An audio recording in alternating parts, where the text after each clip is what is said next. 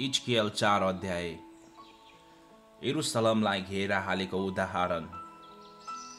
हे मानिसको छोरो एउटा इँटका पाटा लिएर त्यो तेरो सामु राख र त्यसमा एरुसलमको फोटो खिच। तब त्यसका चारैतिर घेरा हाल। त्यसको विरुद्धमा घेरा मचान बना र त्यसको सामुन्ने छाउनी लगा र वरिपरि त्यसलाई भत्काउने मुढाहरू राख। तब एउटा फलामे बाँडो लिएर सहर र तेरो बिचमा एउटा फलामको पर्खाल जैते खडा गर अनि तेरो मोहडा सहरतिर फर्का।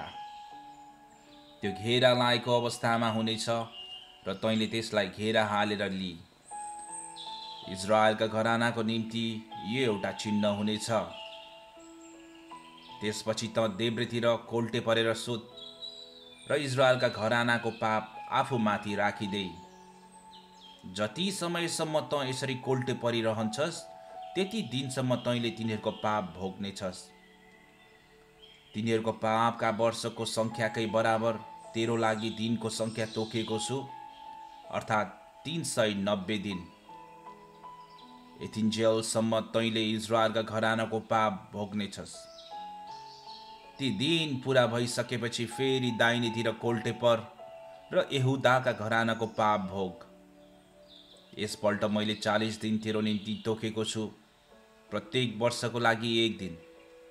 तेरो पाखुरा नाङ्गै राखेर तैँले आफ्नो मोहडा एरुसलमको हेरातर्फ फर्काएर राख र त्यस सहरको विरुद्धमा अगमबानी भन्।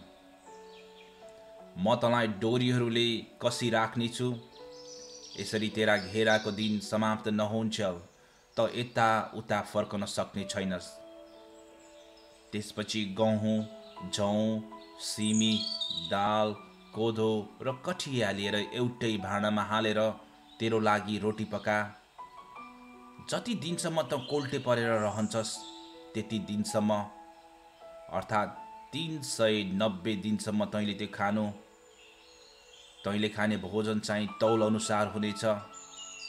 दिनमा बिस सेकेल दिनको तोकिएको बेलामा तैँले खानु।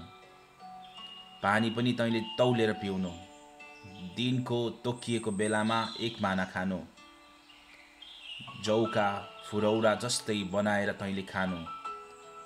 मानिसहरूकै आँखाको सामुन्ने मानिसको दिशालाई दाउराको रूपमा प्रयोग गरेर त्यो पकाउनु परमप्रभुले भन्नुभयो इजरायलीहरूलाई जुन जुन जाति म धपाउनेछु उनीहरूका बिचमा तिनीहरूले यसरी नै दूषित भोजन खानेछन्।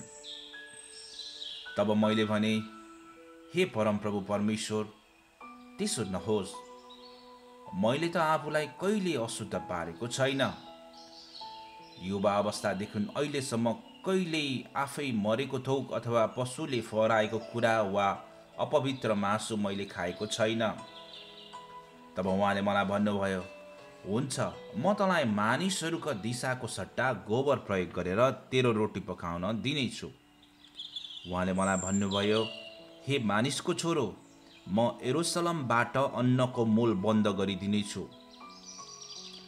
जोखी जोखिकन चिन्तित भए तिनीहरूले रोटी खानेछन् र जोखी जोखिकन डराउँदै पानी पिउनेछन्। किनकि तिनीहरूमा रोटी र पानीको अभाव हुनेछ।